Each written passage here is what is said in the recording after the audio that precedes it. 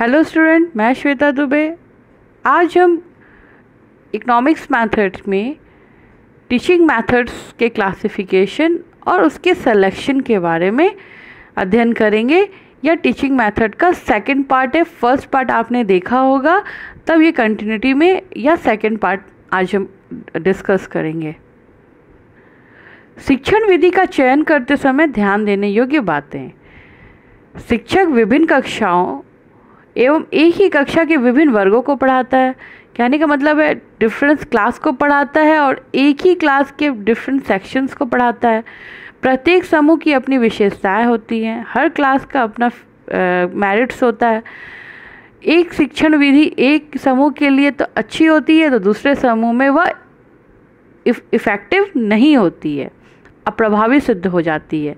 इसलिए शिक्षण विधि के चयन में समूह विशेष को ध्यान में रखना आवश्यक है। मतलब जो भी ग्रुप है, जिसे आप पढ़ा रहे हो, उसको ध्यान में रखना आवश्यक है।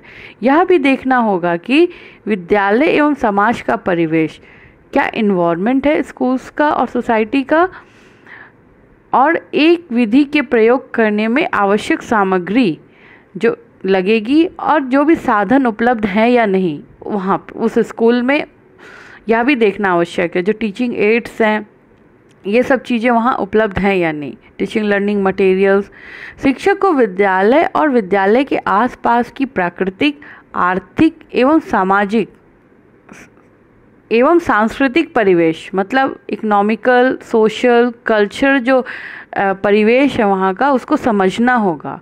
और देखना होगा कि इनमें से किन एलिमेंट्स किन तत्वों का विषय वस्तु से संबंधित किया जा सकता है। मतलब अपने जो पढ़ाने वाले टेक्स्ट मटेरियल उसे कोरिलेट करके बच्चों को पढ़ाया जा सकता है।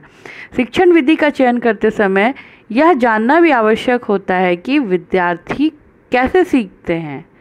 विद्यार्थियों की सीखने की इच्छा, विधि, योग्यता आदि में अंतर पाया जाता है।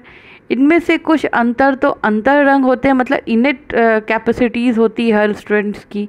लेकिन बहुत कुछ ये सीखने के कौशल पर भी निर्भर करती है। अगर हम अच्छे से सिखाएँगे तो वो डेवलप हो सकती है। इसलिए शिक्षक को, विद्यार्थियों को यह बताना चाहिए कि वह विषय का मनन किस प्रकार करे और सीखने के लिए किस प्रकार निजी विधि का विकास करे। मतलब एक डेवलपमेंट करें कुछ मेथड्स का। जैसे हम घर में पढ़ते हैं जो स्कूल से पढ़ के आते हैं तो हम एक अपने, अपना एक स्ट्रैटेजी बनाते हैं कि हमें किस तरह से पढ़ना है, किस विधि से हम इसे घर में समझ सकते हैं। तथा अपने एकत्र किए हुए जो खोज हैं, ज्ञान को किस प्रकार को मतलब उसको एक साथ समझित करना है, एक साथ उसे समग्र करना है। शिक्षक को यह बात ध्यान में रखनी चाहिए कि बालक काम करके और स्वयं खोज करके बेहतर ढंग से सीख सकता है। ना कि तथ्यात्मक ज्ञान को निष्क्रिय रूप से प्राप्त करके। मतलब अगर उन्हें कुछ हम एक्टिविटीज़ कुछ प्रोजेक्ट देंगे तो वो ज़्यादा अच्छे से सीख पाएँगे। इसी खोज की ओर प्रवृत्त करने वाली क्रियात्मक और सृजनात्मक प्रक्रिया है। मतलब एक्टिविटी बेस्ड और क्रिएटिव प्रोसेस भी बच्चों में रुचि उत्पन्न करती है। उसे आनंद मिलता है और उसका ध्यान तुरंत आकर्षित होता है। सीखने की स्थितियों की योजना बनाते समय शिक्षक को सीखने के कुछ सिद्धांतों को, सीखने के जो सिद्धांत हैं उन्हें तय कर लेना चाहिए। जैसे सीखने की इच्छा, प्रेरणा, मोटिवेशन, क्रिया एवं समस्या समाधान, प्रॉब्लम सॉल्विंग, सीखने का वातावरण समस्या समाधान से संबंधित जो सामग्रियाँ हैं, वह साधन उपलब्ध होने चाहिए। भावनात्मक सहयोग इमोशनल सपोर्ट शिक्षक विद्यार्थियों को सिखाते समय दें। विद्यार्थी ऐसे निष्कर्ष पर पहुँचे जो कि उसे संतुष्ट कर सके। विषय वस्तु और इसकी संरचना के अनुसार ही शिक्षण विधियों का चयन करना चाहिए। अर्थशास्त्र में वर्णात्मक अथवा विश्लेषणात्मक पहलू अर्थशास्त्र की शाखाएँ हैं जैसे मैक्रो इकोनॉमिक्स है माइक्रो इकोनॉमिक्स है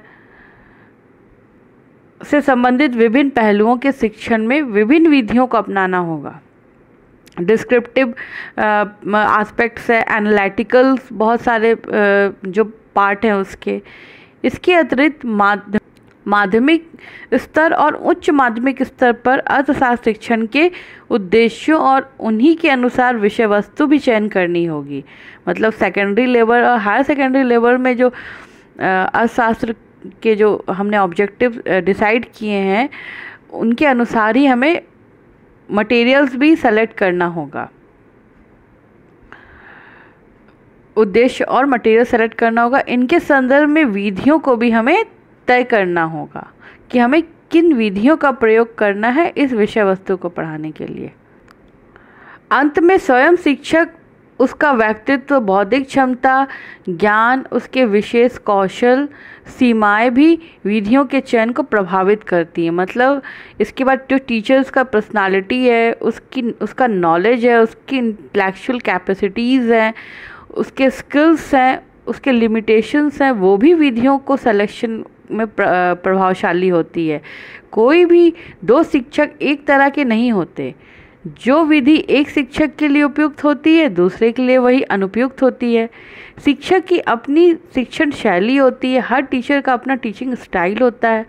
अच्छा हो यदि इसमें फ्लैक्सिबिलिटी हो और अनुकूलन हो। जिससे कि स्थितियों के अनुसार उचित विधियों का प्रयोग शिक्षक कर सके। कहने का तात्पर्य है कि टीचर ने लेसन प्लान बनाया। उसने पहले से प्री स्ट्रैटेजीज बना ली कि इस क्लास को हमें इस विधि के द्वारा पढ़ाना है। पर जब वो क्लास में गया, उस समय वो बच्चों को जान रहा है बहुत अच्छे से कि उनका क्या लेवल है। फिर भी ऐसी कुछ परिस्थिति आ गई कि बच्चे उस मेथड से नहीं सीख रहे हैं। तो टीचर को तुरंत अपने मेथड में फ्लैक्सिबिलिटी ला के कुछ डिफरेंट मेथड्स का यूज़ करना होगा। इलस्ट्रेशन विथ एग्जाम्पल्स हुआ या फिर आ, उससे रिलेटेड स्टोरी टेलिंग हुआ कुछ उनको स्टोरी बता के या फिर उसमें हमने कुछ स्रोत विधि का प्रयोग कर लिया। मतलब बहुत सारे डिफरेंस मेथड है। सब उसके अनुसार हमने उसका उपयोग करना है, जिससे कि मेन हमारा जो मकसद है कि बच्चों को वह लेसन ठीक से समझ में आए, वह इंपॉर्टेंट है, जिसे हम अचीव कर सकते हैं। थैंक यू आप इसके थर्ड पार्ट को ज़रूर देखिएगा, जिसमें हम क्लासिफिकेशंस का अध्ययन करेंगे methods and classification of teaching methods का अध्ययन करेंगे।